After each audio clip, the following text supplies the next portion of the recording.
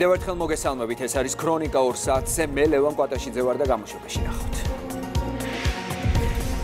ყოფილი მთავარსარდლის ხმაურიანი განცხადება შეურაცხყოფა ქართულ ჯარს და სახელმწიფოს გიორგი მარგველაშვილის განცხადებაზე პოლიტიკური შეფასებებით პირდაპირ ჩართვა ქრონიკაში. კადრების სააკაშვილის პალატიდან განსხვავებული პოლიტიკური შეფასებები პატიმრის ჯანმრთელობის მდგომარეობაზე. უკვე მეორე დღეა ევროპარლამენტის რეზოლუციას მწვავე დაკრიტიკებენ სახელმწიფო გუნდში. ქართული ოცნების წარმომადგენლები განმარტავენ, რომ დოკუმენტში საუბარია სიცრუესა და სიყალბეზე, ასევე ღიად არის მითითება დამნაშავეთა მფარველობაზე.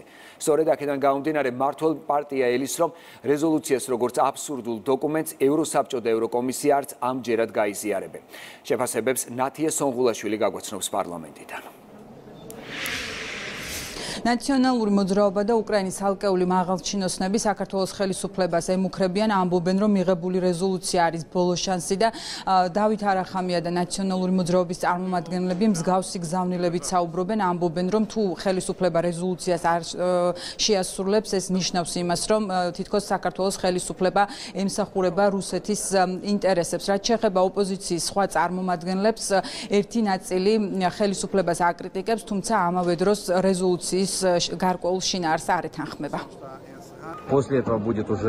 ამის შემდეგ უკვე მიუმართავთ ადამიანის უფლებათა დაცვის ევროპულ სასამართლოს. თუ საქართველოს გადაწყვეტს რომ საბოლოოდ დაადგეს რუსეთის გზას და არ აღიაროს ევროპული სასამართლოს გადაწყვეტილება ეს უკვე იქნება სრული მტკიცებულება იმისა რომ საქართველოს ხელისუფლებამ პრორუსული კურსი აერჩია და ხდება რუსეთის კოლონია. ვიმედოვნებ რომ ეს არ მოხდება და ეს მიმართვა დაეხმარება მიხელ სააკაშვილს სამკურნალოდ გაემგზავროს და არ დაკავდეს პოლიტიკით როგორც დღეს ცდილობენ ამით სპეკულირებას.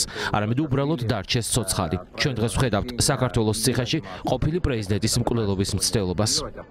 ეს არის გაფრთხილება, ბოლო გაფრთხილება საქართველოს ხელისუფლებას, რომ გონს მოეგონდა ჩვენს მომავალი, ჩვენი მომავალი არ ჩააბარონ რუსეთს. ეს არის კაფიო გზავნილი რა უნდა გაკეთდეს 12 პუნქტიანი შედახმების ფარგლებში რა უნდა გაკეთდეს სააკაშვილთან მიმართებაში. ივანიშვილის სანქცირება არის შედეგი იმ ქმედებისა რასაც ქართული ოცნება ჩადის. თუ კი არ დადგება ის შედეგი რაც ქართულ ხალხს არჩეული და ჩაწერილია კონსტიტუციაში.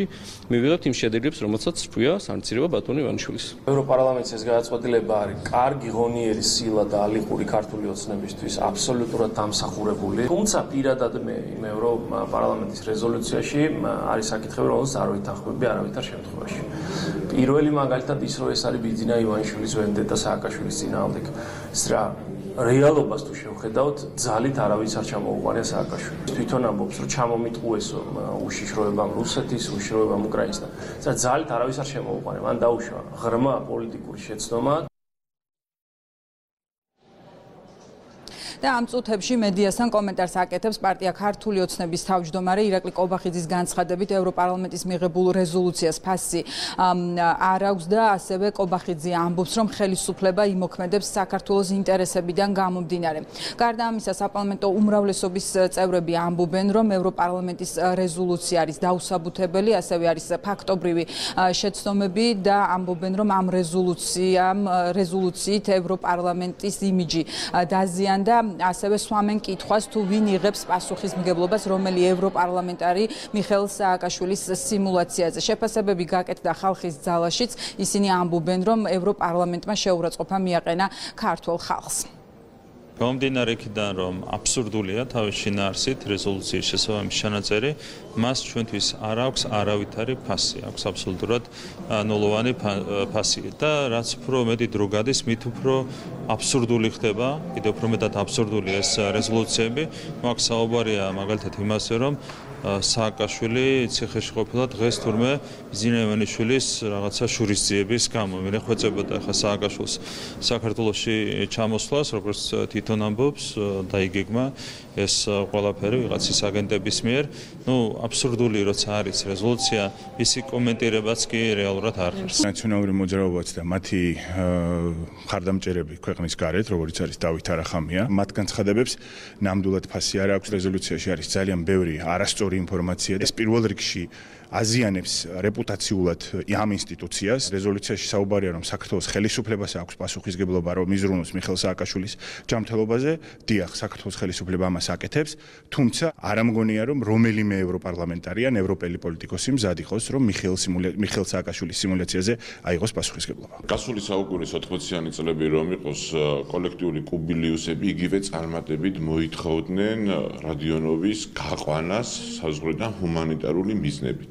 არ შეიძლება უსამართლობა, უკანონობა და დანაშაული კანონდებოდეს ისეთი მაღალი ლეგიტიმაციის მქონე ორგანოდან როგორც არის ევროპარლამენტი. აუცილებელი იქნება გამოკვლევა რაიმე სხვა სახის პირადი ინტერესები ხომ არა აქვს მათ შორის კორუფციული ამ ადამიანები შეურაცხყოფელია საქართველოს მოქალაქეებისთვის სამარცხინოა მე მწვენია იმ პარლამენტარების მაგივრად ესეთ არჩევანს როცა გიყენებენ რომ ან ღირსება დათმე თუ გინდა ევროკავშირში ესეთი ევროკავშირი არ უნდა უნდოდეს არავის დავარქვით ამ ყველაფერს გლობალური ომის პარტია, საიდანაც იმართება, სამწუხაროდ იმართება ეს ევროპარლამენტარების საკმაოდ დიდი ჯგუფი, ყოველგვარი სამართლიანობის გარეშე შანტაჟს უწყობენ მთელ ქვეყანას.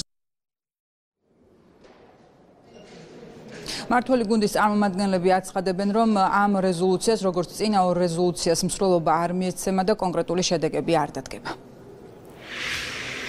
პადლობა პარლამენტიდან ნათია სონღულაშვილი საუბრობდა. ახალი კადრები სააკაშვილის პალატიდან მასალა რომელიც სპეციალურმა პენიტენციურმა სამსახურმა გავრცელა სახელმწიფო გუნდისთვის კიდევ ერთხელ ადასტურებს რომ მაშკარაა სააკაშვილის მხრიდან მორიგი სიმულაცია. ნაციონალურ მოძრაობაში კი ამ კადრების გავრცელების შემდეგაც ამტკიცებენ რომ ვიდეო მასალა რეალობას არასახავს და პატიმრის მდგომარეობა მძიმეა გიორგი აბაზაძია ამ თემით ქრონიკის პირდაპირ ეთერში ლევან საპარლამენტო უმრავლესობაში ამობენ რომ პენიტენციური სამსახურის მიერ გავრცელებული მორიგი კადრები არის კიდევ ერთი დადასტურება. იმისა რომ შავდებული ექს-პრეზიდენტის სიმულაციით და თვითდაზიანებით არის დაკავებული სააკაშვილის მხარე კი აუცილებლად დამონტაჟებულ კადრებს რათა საზოგადოება შეიყვანოს შეცდომაში და ასევე ქვეყნის იმიჯი დააზიანოს საერთაშორისო არენაზე რომ თითქოს სახელმწიფო არ ახდენ შესაბამის რეაგირება შესაბამისად შავდებულ ექს-პრეზიდენტს მოუწოდებენ რომ დაემორჩილოს მკურნალობას და მიიღოს საკვები. რა შეეხება თავად სააკაშვილის პარტიას აქ იმის მიუხედავად რომ კადრებში კარგად ჩანს რომ მიხელ სააკაშვილი გადაადგილდება დამხმარე საშუალებების გარეშე ამ მტკიცებენ რომ ჩავდებული ექს-პრეზიდენტი ისევ არის მძიმედ. ჯანმრთელობის მდგომარეობა არის ისეთი, როგორცაც ხელოვნურად, სამწუხაროდ, ხელოვნურად მართავენ. სწორედ ასეთი ხელოვნური ნაბიჯებით არის გამპირობებული ვარი ისეთი და არა სხვანაირი. მე ვერ წარმომიდგენია, რატო არ შეიძლება იმკურნალოს სააკაშვილმა იქ, სადაც ახლა არის.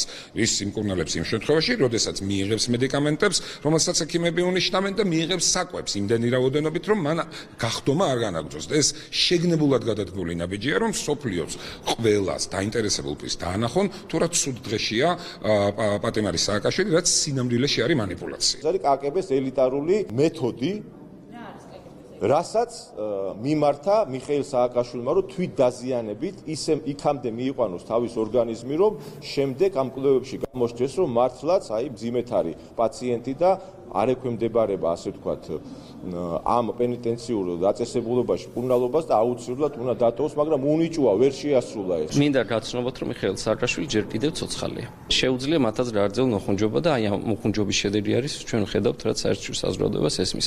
მართლა ბოლოს შედარჩებიან, რომ ამ სამოსრე პრავდაში მოუწევთ თავის ინფორმაციის გამოქვეყნება. კადრები, რომელიც პენიტენციურმა სამსახურმა გაავრცელა, ნაწილი დათარიღებულია 2022 წლის 17 დეკემბრით, ასევე მიმდინარე წლის თებერვლით, მაგალითად 1 თებერვლით, ეს კი არის ის დღე, როდესაც მიხელ სააკაშვილის სასამართლო პროცესი მიმდინარეობდა და მჟავდებული ექს-პრეზიდენტი სასამართლოს ხტომას ჩაერთო ონლაინ, თუმცა კადრებში კარგად ჩანს, რომ სასამართლოს მიმდინარეობისას და მისი დასრულების შემდეგ მიხელ სააკაშვილის მოქმედებები ერთმანეთისგან არის რადიკალურად განსხვავებული. მეტიც მას როცა ავიწყდება კამერები, თავისუფლად გადაადგილდება დამხმარე საშუალების garaშე. ასე არის მაგალითად 8 და 9 თებერვლის კადრებში, ერთ-ერთ კადრში კი მაგალითად მიხელ სააკაშვილი როცა იცვამს წინ და ის დგას ცალფეხზე. ეს ხო ჩართვა პარლამენტიდან და გიორგი აბაზაძე უცხოური გავლენის გამჭვირვალობის შესახებ სადაო ხდება კანონპროექტის შინარცი, რომლის ინიციატორიც ხალხის ძალა. კერძოდ არის თუ არა დოკუმენტი ამერიკაში მოქმედის შესაბამისი კანონმდებლობის მიხედვით შედგენილი.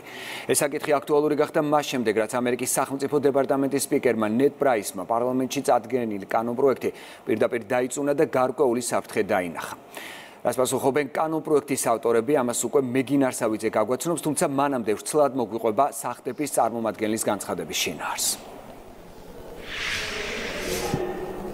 ნეტპრაისი შეშფოთებას გამოთქვამს კანონპროექტის კანონად ქცევის შემდეგ მოსალოდნელი შედეგით სიტყვის თავისუფლებისა და დემოკრატიასთან დაკავშირებით ის ამბობს რომ ეს არ არის ამერიკული კანონის ანალოგი და ეფუძნება უნგრეთსა და რუსეთის მსგავს კანონმდებლობას ჩვენთვის ცნობილია საქართველოს პარლამენტში ამ კანონპროექტის ინიცირების შესახებ. ღრმად ვარ შეშფოთებულები მოსალოდნელი შედეგით სიტყვის თავისუფლებასა და დემოკრატიასთან დაკავშირებით საქართველოში. ეს შეშფოთება გამოვხატეთ საქართველოს მთავრობაში ჩვენს თანამოსაუბრეებთან. შემოთავაზებული კანონი სტიგმატიზაციას მოახდენს და ჩაახშობს საქართველოს მოქალაქეების დამოუკიდებელ ხმებს, რომლებსაც უკეთესი მომავლის აშენება სურთ. ამან შეიძლება შეარყიოს საქართველოს ევროატლანტიკური ინტეგრაცია. განცხადებები რომ თითქოს ეს კანონპროექტი ეფუძნება უცხოელი აგენტების რეგისტრაციის შესახებ ამერიკულ კანონს არის აშკარად მცდარი. ის როგორც ჩანს ეფუძნება რუსეთისა და უნგრეთის მსგავს კანონმდებლობას ხალხის ძალის წევრებისთვის გაუგებარია როგორ უნდა შეუქმნას კანონპროექტმა საფრთხე სიტყვის თავისუფლებას რომლის მიზანიც არის გამჭვირვალობა. აცხადებენ რომ სწორედ ამერიკული კანონით იხელმძღვანელეს და ასევე ანონსებენ რომ საჯაროდ მოხდება ამერიკული კანონისა და მათ მიერ ინიცირებული კანონპროექტის შედარება. მათ შორის იურისტების ჩართულობით იმისთვის რომ საზოგადოებამ გამოიტანოს დასკვნა რომელი უფრო ლიბერალურია. თავად ხალხის ძალის წარმომადგენლები კი აცხადებენ რომ მათ მიერ ინიცირებული კანონპროექტი ბევრად უფრო ლიბერალურია ვიდრე ამერიკაში მოქმედი მოქმედი კანონი. ის რაც შესაძლებელია ამერიკისთვის, ის დაუშვებელია საქართველოსთვის. ქართული ვარიანტი არის ბევრად მსუბუქი ნაკლები რეგულაციების შემცველი ვიდრე ამერიკული ვარიანტი. ამერიკულ ვარიანტში განიხილება სისხლის სამართლებრივ პასუხისგებლობაც, რაც საქართველოში ამ ვარიანტში ჩვენს მიერ წარდგენილში პრაქტიკულად არ არსებობს. აბსოლუტურად გაუგებარია სიტყვისა და გამოხატვის თავისუფლების თითქოს რისკის ქვეშ დაყენება ამ კანონმდებლობით. ეს კანონმდებლობა გულისხმობს მხოლოდ და მხოლოდ რეესტრის შექმნას, სადაც ესა თუ ის ორგანიზაცია, როცა 20%-ზე ყველაზე მეც უცხო ქვეყნიდან ღებულობს დაფინანსებას, რომ გაიაროს რეგისტრაცია. და თუ რეგისტრაციას არ გაივლის, არის მხოლოდ და მხოლოდ საჯარი მოსახდელი და არ არის მაგალითად სისხლის სამართლებრივი პასუხისგებლობა დარღვევების შემთხვევაში, რაც არის ამერიკულ ვარიანტში. ჩვენ ვერ მოვისმინეთ ვერც ერთი არგუმენტირებული შენიშვნა სამართლებრივი თვალსაზრისით იქნება ეს თუ რა, უბრალოდ ზედაპირული შეფასებაა, რომ ეს არის ასე ვთქვათ, რუსული კანონი, და ამ რუსულ კანონზე დაყნობით უნდათ რომ შეავიწროონ არასამთავრობო ორგანიზაციები. ესა ჩვენ მაგალითად ავიღეთ ამერიკული კანონმდებლობა და აქვე დავაანონსებ რომ ჩვენ ვაპირებთ რომ გავასაჯაროოთ ორივე კანონმდებლობა შესაძარებლად და საზოგადოებაც ნახავს თუ რომელი ასე ვთქვათ პუნქტები იყო ვთქვათ შეცვლილი და რის საფუძველზე მოხდა ეს ცვლილებები და რომელი უფრო ლიბერალურია და რომელი უფრო დემოკრატიულია ამას შევაფასებთ მარტივად. იურისტები იქნებიან ჩართული და ყველას ექნება ამის საშუალება. გასაკვირია ეს ორმაგი სტანდარტი რაზეც მუდმივად ჩვენ საუბრობთ ზუსტად მეორე დღეს ანალოგიურ კანონმდებლობის ინიცირების სურვილი გამოთქვა ევროპის სახალხო პარტიამ რომ ეს კანონმდებლობა დარეგისტრირდეს ევროკავშირშიც და ამაზე მე მგონი net-price განმარტება არ გაუკეთებია და მიუხედავად ჩვენი პატივისცემისა საკმაოდ შეურაცხყოფელი არის ეს ქართული საზოგადოებისთვის ხალხის ძალის წარმომადგენლები აცხადებენ, რომ მათთვის მნიშვნელოვანია გამჭვირვალობა და სწორედ ამას ითვალისწინებს მათ მიერ ინიცირებული კანონპროექტი. მადლობა პირდაპირ ეთერში მეგინ არსავიძე საუბრობდა. საქართველოს ყოფილი პრეზიდენტი გიორგი მარგველაშვილი ხელისუფლებას საგარეო პოლიტიკას უწუნებს. კერძოდ ყოფილი მთავარსარდალი აცხადებს, რომ რუსეთ-უკრაინის ომში ქართული სახელმწიფოს პოზიცია უკრაინის მხარდაჭერისკენ არ არის მიმართული. ამ თემაზე საუბრისას მარგველაშვილი საკმაოდ ხმაურიან განცხადებას აკეთებს, ისელოდება, რომ ქართული სახელმწიფო შეერაღებული ძალებით პირდაპირ დაეხმაროს რუსეთის ფედერაციას. რეალური მგონია რომ ქართული სახელმწიფო შეიარაღებული ძალებით დაეხმაროს რუსეთს და ქართულ ქართულ ჯარისკაცებს მოუწოდოს რომ წავიდნენ და იომონ უკრაინაში. საქართველო ამ კონტექსტში მათთვის არის ძალიან სერიოზულად წელში გამსწორებელი ქვეყანა შიდა ასე ვთქვათ მოხმარების თვალსაზრისით. გიორგი მარგველაშვილის ეს განცხადება დღეს თანაბრად გააკრიტიკეს პოლიტიკურმა ძალებმა. ყოფილი მთავარსარდლის გზავნილი ანტისახელმწიფოებრივად შეაფასეს და ყოფილ პრეზიდენტს პოლიტიკური ანალიზის დაუწუნეს. ნინო არღლიანია ამ თემით პირდაპირ ეთერში. ნინო გისმენთ. ლევან გიორგი მარგველაშვილმა ქართული კანონმდებლების გაოცება დღესაც შეძლო შემაშფოთებელი და სამარცხვინო ასეთი იყო პასუხი. მარგველაშვილის განცხადებასთან დაკავშირებით საქართველოს პარლამენტიდან მართლმა გუნდმა დღეს საქართველოს ყოფილი პრეზიდენტი ყოფილი მთავარსარდალი ანტისახელმწიფოებრივ ქმედებაში და ჯარის დისკრედიტაციაში დაადანაშაულა რადგან ქართული ოცნებისთვის წარმოუდგენელია ქართულ ხალხს უთხრა რომ ქართული ჯარის იმედი არ უნდა კონდეთ და ასევე ქართული სამხედრო საზოგადოები პოტენციურ ღალატში დაადანაშაულო. მართლი პარტიამ მართლმა პარტიამ დღეს მარგოლაშვილს საკუთარი სტატუსი შეახსენა და უთხრა ისიც რომ მისი განცხადებები ქართულ ჯარს არაფერს აკლებს თუმცა ყველაფერს ამბობს თავად განცხადების ავტორზე. დღეს დილიდან ვიღებ თავდაცვის ძალის წარმომადგენლებისგან ჩვენი სამხედროებისგან ვიღებ ტელეფონის ზარებს და აღშფოთებულები არიან იმ განცხადებით რაც ბატონმა მარგულაშვილმა გააკეთა და ადანაშაულა სახელმწიფო და თავდაცვის ძალები პოტენციურ ღალატში. ამაზე მეტი შეურაცხყოფა რა უნდა იყოს, რომ შეაფასოს ამ ადამიანების ღვაწლი და ეჩქეს დააყენოს მათი ერთგულება ჩვენი სახელმწიფოს და საერთაშორისო სამართლის პრინციპების მიმართ. არ მიდოდა ამაზე ხაზის გასმა, მაგრამ არის ალბათ ჩვენი დიდი შეცდომა, რომ ადამიანი, რომელსაც ჰქონდა ესეთი წარმოდგენა თავდაცვის ძალებზე და სახელმწიფოზე იყო ქვეყნის უმაღლესი მთავარსარდალი. ამ განცხადებით ჯარის დისკრედიტაცია მოხდა. თქვენ წარმოგიდგენიათ საზოგადოებას ეონება რომ ჯარი ყავს რომელსაც არ უნდა ენდო. ეს კიდევ ერთხელ აჩვენებს ამ ომის პარტიის აქტორები რამდენად არიან მომართული საქართველოს ინტერესების დაზიანებისაკენ. რა უნდა მარგველაშვილს და რაც უნდა სააკაშვილს, რომ საქართველოს მაქსიმალურად დაზიანდეს, საქართველოს ხელისუფლება ჩამოშალონ, მოიყვანონ სააკაშვილი და ომის პარტია და მეორე მართლა გაგზავნონ საქართველოს საომრად.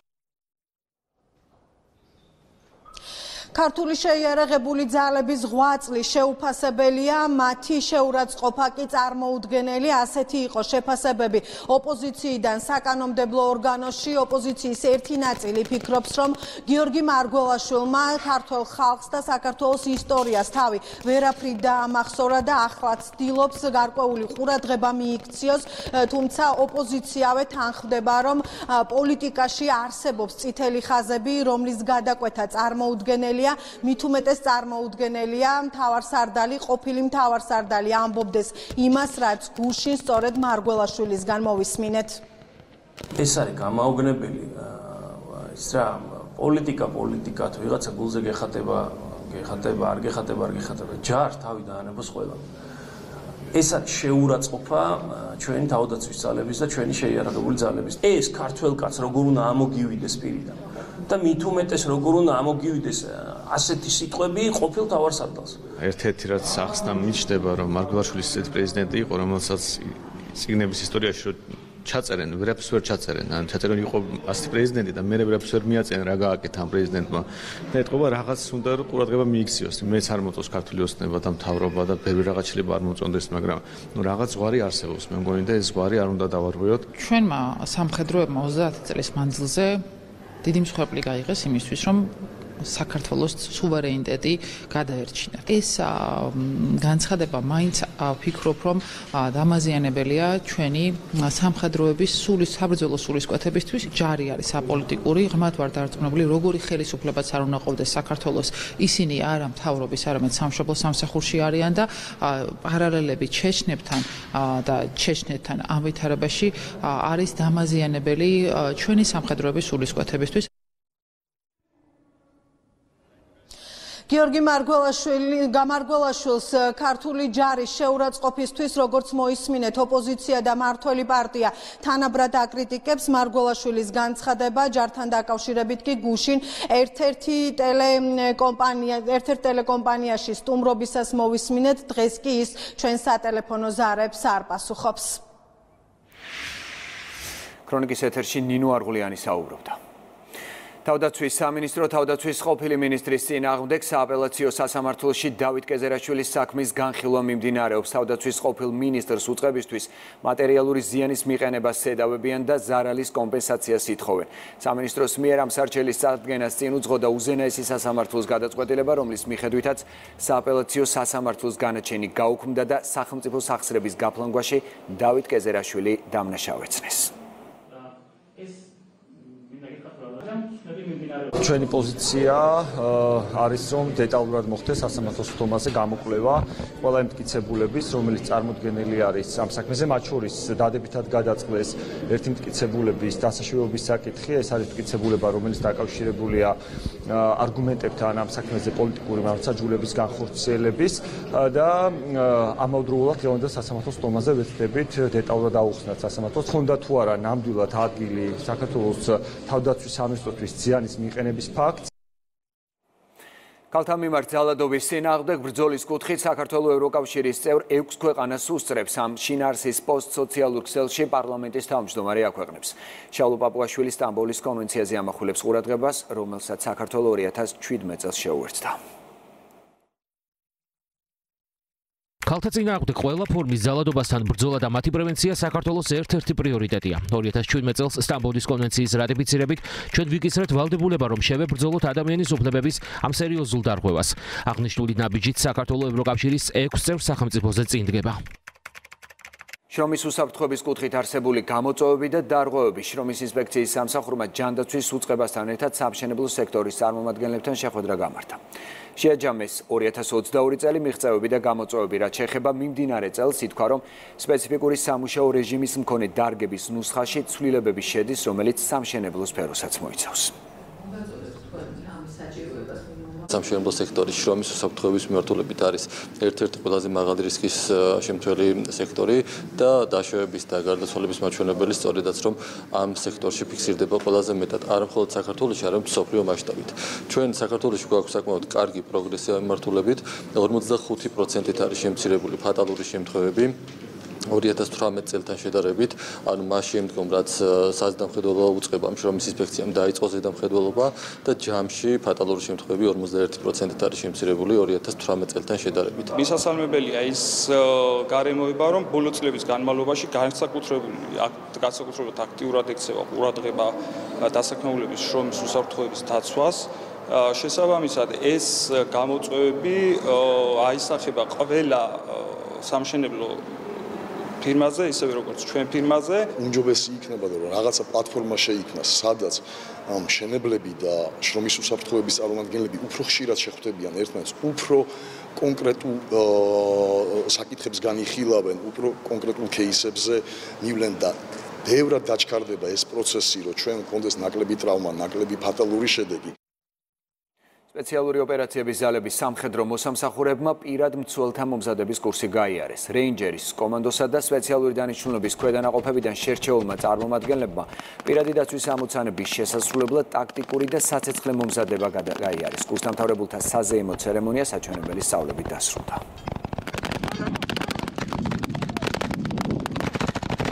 პირადმა შემადგენლობა კურსის განმავლობაში გაიარა სხვადასხვა კვალიფიკაცია, დღეს მათ გადაეცა სერტიფიკატები, ისინი მზად არიან ნებისმიერ დროს, ნებისმიერ გარემოში შეასრულონ მაღალი ღირებულების ობიექტის დაცვის უზრუნველყოფა. კიდევ ერთხელ ულოცავ მათ და მადლობა ჩვენს პროფესიონალ ინსტრუქტორებს ასეთი მაღალი დონის კურსის განხორციელებისათვის. ჩავატარეთ სიტუაციური საჩვენებელი სწავლება, როცა VIP პიროვნება გადაადგილდებოდა დაცვასთან თანხლებით. ამ დროს მივიღეთ ცეცხლი, ცეცხლის ქვეშ მოხდა მისი გადაყვანა უსაფრთხო ადგილზე, სადაც გამოძახებული იქნა სპეცდანიშნულების დახმარე ჯგუფი და სპეცდანიშნულების დამხმარე ჯგუფის ხარდაჭერით მოხდა VIP პიროვნების გაყვანა თავდაცვისა და უშიშროების კომიტეტის ინიციატივით გამართულ სამუშაო შეხვედრაზე სამოქალაქო საზოგადოების წარმომადგენლებთან და დარგის ექსპერტებთან თავდაცვის კოდექსის პროექტის განხილვა გამართა დახურული ფორმატის შეხვედრაზე თავდაცვის მინისტრის მოადგილე გრიგოლ გიორგაძემ. შეხვედრის მონაწილეებს კოდექსით შემოთავაზებული ცვლილებები გააცნო და მათ შეკითხვებს უპასუხა. შეხვედრის დასრულების შემდეგ კოდექსის მომზადების პროცესი და ახალი საკანონმდებლო ინიციატივის მნიშვნელობა კომიტეტის თავმჯდომარემ და სამოქალაქო საზოგადოების წარმომადგენლებმა შეაფასეს. ეს დღეს ეს არის ძალიან მნიშვნელოვანი ინიციატივა და ძალიან მნიშვნელოვანი რეფორმა თავდაცვის სფეროში, რომელიც პასუხობს ჩვენი ქვეყნის თავდაცვის და უსაფრთხოების საჭიროებებს. კოდექსი შემოდის ძალიან ბევრი მნიშვნელოვანი ცვლილება და ხდება ბევრი საკვანძო საკითხის გადააზრება ახლებურად ჩამოყალიბება. კოდექსის შემუშავებაში მონაწილეობდნენ ამერიკის შეერთებული შტატების თავდაცვის დეპარტამენტის იურიდიული ჯგუფის წარმომადგენლები და მომავალი კვირიდან უკვე კოდექსის განხილვას დაიწყებენ პარლამენტის შესაბამისი კომიტეტები. გამოყოფდი ერთ-ერთ ძალიან მნიშვნელოვან საკითხს, რაც მუდმივად გვაწუხებდა, ეს იყო სამოქალაქო მინისტრის პირობებში თავდაცვის სამინისტროს სამოქალაქო ოფისსა და თავდაცვის ძალებს შორის ფუნქციების გამეჯნას ეს ამ კოდექსი ძალიან კაფიოდ რეგულირდება არის ბევრი საკითხი რაც სამშაო რეჟიმში ასე ვთქვათ ფორმატში იქნება გადაწყვეტილი. განსაკუთრებით მნიშვნელოვანია ეს ნაწილი, რომელიც ეხება აი სავალდებულო სამხედრო სამსახურს, რომელსაც ეხა წვევანდელთა სამხედრო სამსახური ჰქვია და იმას რომ თავდაცვის სამინისტრო ძირთად გახდება წვევანდელთა მიმღები, ასე რომ ვთქვათ, ეს ძალიან მნიშვნელოვანი წინ გადადგმული ნაბიჯია ზოგადად თავდაცვის სისტემის გაუმჯობესების და რეფორმის კუთხით. პოლიციამ რეგიონებში უკანონო ცეცხლსასროლი იარაღი და საბრძოლო მასალა ამოიღო დაკავებულია 13 ადამიანი. საქმესთან ერთვის ჩხრეკის დროს მოპოვებული მტკიცებულებები რაც დაკავებულთა ბრალეულობას ადასტურებს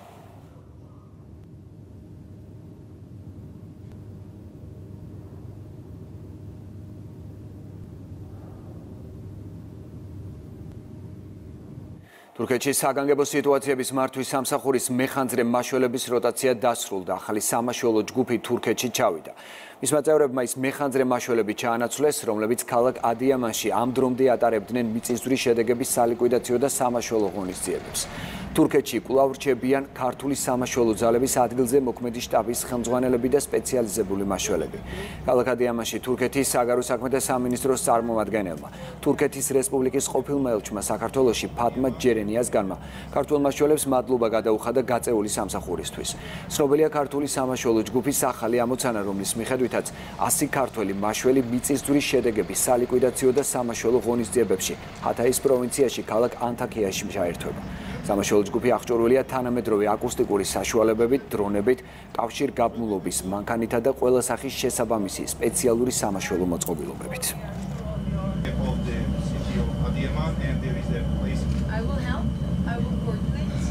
უკრაინაში ომის 358 დღეა რუსული არმია უკრაინის თითქმის მთელ ტერიტორიაზე საჰაერო იერიშებს განაგრძობს. რუსული რაკეტების სამიზნე უკრაინის ენერგეტიკული ობიექტებია. პარალელურად მძიმე ბრძოლები გრძელდება დონეცკის ოლქში. სისხლიანი შეტაკებებია ქალაქ ბახმუჩიც. აღმოსავლეთ ფრონტზე შექმნილ მძიმე ვითარებას ოფიციალური კიევიც ადასტურებს. ქვეყნის დაზვერვა კი 24 თებერვალს რუსეთის ახალ მასირებულ შეტევას ვარაუდობს. რუსეთმა მასირებული სარაკეტო იერიში უკრაინის რამდენიმე რეგიონზე გამთენიისას მიიტანა. რუსული რაკეტების სამიზნე უკრაინის კრიტიკული ინფრასტრუქტურა იყო დაზიანებულია ენერგეტიკული ობიექტები კიროვოგრადისა და ლვოვის ოლქებში. ადგილზე სპეციალური სამსახურები მუშაობენ. სარაკეტო თავდასხმების გამო რამდენიმე რეგიონზე ელექტროენერგიის მიწოდება შეუწყდა. ღამით რუსული არმიისიერიშის გამო დნეპროპეტროვსკის ოლქში 79 წლის ქალი დაიღუპა. დასახლება პავლოგრადში დანგრეულია საცხოვრებელი სახლები ლოვის ოლქში მტრის სამი რაკეტა კრიტიკული ინფრასტრუქტურის ობიექტებს მოხვდა. შემიძლია ვთქვა, რომ არ დაზიანებულა ეს ობიექტები, რომელზეც ელექტროენერგიის მიწოდებაა დამოკიდებული. შემთხვევის ადგილას ძლიერი ხანძარი გაჩნდა. მიმდინარეობს მისი ლოკალიზება. არავინ დაშავებულა. ოფიციალური კიევი მოსახლეობას აფრთხილებს, რომ დღის განმავლობაში რუსული იერიშები შესაძლოა განმეორდეს. მზადყოფნაშია უკრაინის ჰაერსაწინააღმდეგო სისტემები. თავდასხმები იქნება, რადგან რუსეთის არმია ეძებს ისეთ ახალ ტაქტიკას, რომელიც მისთვის უფრო მეტი შედეგის მომდანი იქნება. უკრაინა ახალ ფართომასშტაბიან შეტევას 24 თებერვალს ელის. დაზვერვის მონაცემებით რუსეთმა უკრაინის საზღვართან 400 სამხედრო თვითფრინავი და 300 ვერტფრენი განათავსა. ასევე კიევის თავზე 6 საჰაერო ბურთი შენიშნეს და გაანადგურეს, რომლებიც საქალაქო ადმინისტრაციის მტკიცებით სადაზვერვო დანიშნულების იყო. საჰაერო ობიექტების სამხედრო თვალსაზრისით საფრთხეს არ წარმოადგენს. შესაძლოა მათი მიზანი იყოს შენი ჰაერსაწინააღმდეგო სისტემების განთავსების ადგილის დაზვერვა. რაც შეეხება ახალ თავდასხმებს, რუსეთი 23 ან 24 თებერვალს შეეცდება ფართომასშტაბიანი მასირებული ერიში განახორციელოს. ჩვენ ამისთვის მზად ვართ. მძიმე იქნება, მაგრამ გავუმგლავდებით. სარაკეტო იერიშების პარალელურად რუსული არმია სახმელეთო შეტევებს ახორციელებს დონეცკისა და ლუგანსკის ოლქებში. აღმოსავლეთ ფრონტზე შექმნილ მძიმე ვითარებაზე კიდევ ერთხელ საუბრობს ვოლოდიმერ ზელენსკი. ყველაზე რთული ვითარება ახლა ბახმუტის და უგლედარის მიმართულებითაა. ბახმუტი ცოცხალი ხალხისგან შემდგარი ციხესიმაგრეა, ცოცხალი კლდია. ეს ომი ძალიან ძვირი უჯდება ჩვენი სახელმწიფოს ისტორიას. ბახმუტი იმისთვის გჭირდება, რომ უკრაინის არმიის პარალიზება მოახდინოთ. ისინი უკვე პარალიზებულნი არიან, მაგრამ ყოჩახ რომ ბახმუტს ისევე ბღაუჭებიან. ამ დროისთვის ბახმუტის შემოგარენში 90-მდე უკრაინული ბატალიონი დგას, 45000-მდე უკრაინელი ჯარისკაცი. მოწინააღმდეგე ყოველდღე ახალ რეზერვებს აგზავნის ბახმუტის მიმართულებით. პრიგოჟინის თქმით, მისი მებრძოლები ბახმუტს ორან სამთვეში ალყაში მოაქცევენ. ვოლოდიმერ ზელენსკის სამხედროებს მოუწოდებს არ დათბონ ბახმუტი და დასავლეთის სამხედრო დახმარებას დაელოდონ. ოფიციალური კიევი ფრონტის ხაზზე მათ სასარგებლოდ ვითარების შეცვლას გაზაფხულისთვის ვარაუდობს. თურქეთში მიწისძვრის შედეგად დაღუპულთა რაოდენობა 36187-მდე გაიზარდა, ჯამში კი თურქეთსა და სირიაში მსხვერპლის რაოდენობა უკვე 42000 მიუახლოვდა. ორივე ქვეყანაში სამძებრო სამაშველო და დასუფთავების სამუშაოები გრძელდება. თურქეთში მიწისძვრით განადგურებულ ადგილებს დღეს ესტუმრება ნატოს გენერალური მდივანი. იენ სტოლტენბერგი უკვე შეხვდა თურქეთის მთავარ დიპლომატს მევლუდ ჩაუშოღლუს. ის შემდეგაც იგი პრეზიდენტ რეჯეპ ტაიბ ერდოღანსაც გაესაუბრა.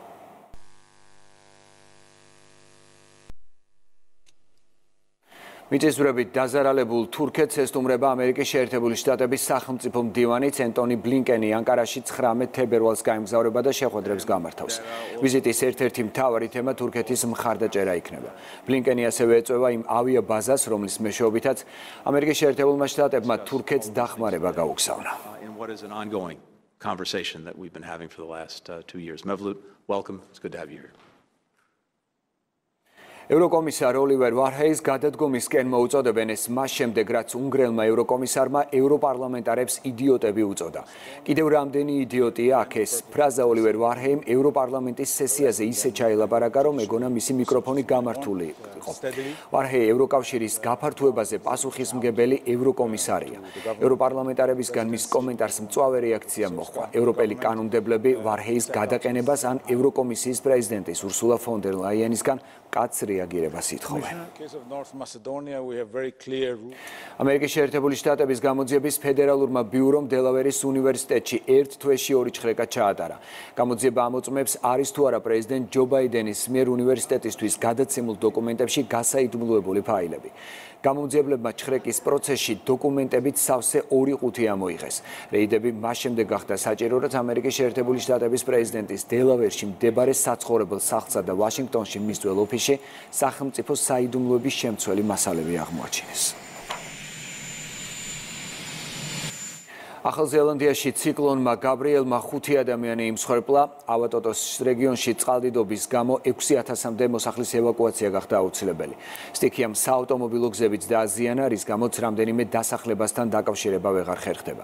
ასობით ადგილობრივი მცხოვრები ელექტროენერგიის გარეშეა დარჩენილი. წყალდიდობასთან ახლავს ძლიერი შტორმიც, როგორც ქვეყნის ხელისუფლება იუწყება, გაბრიელი ბოლო აწრეულების ყველაზე ძლიერი ციკლონია ქვეყანაში. ამერიკელი მსახიობი და მოდელი რაკელ უელში 82 წლის ასაკში გარდაიცვალა. 1940 წელს დაბადებულმა უელშმა კარიერა სილამაზის კონკურსში გამარჯვებით დაიწყო, რის შემდეგაც კალიფორნიაში ამინდის პროგნოზის სამყაროდ მუშაობდა. მსახიობმა საერთაშორისო აღიარება 1960-იან წლებში მოიპოვა, როდესაც ფილმში მილიონი წელი ჩვენს ერამდე გამოქვაბულის ადამიანის როლი შეასრულა. 1974 წელს კი ფილმ სამ მუშკეტერში შესრულებული როლისთვის ოქროს გლობუსი დაიმსახურა. Let me out. ქრონიკა რეკლამის შემდეგ რამდენიმე წუთში დაბრუნდება.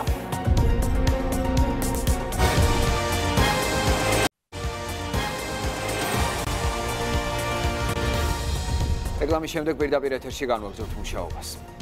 42 ქვეყნის 700-მდე სპორტსმენი ბაკურიანი ფრისტაილში, სნოუბორდსა და ფრისკიში მსოფლიო ჩემპიონატს მასპინძლობს. ღონისძიების გახსნამდე სამუშაო შეხვედრა გამართა, სადაც საორგანიზაციო საკითხები განიხილეს.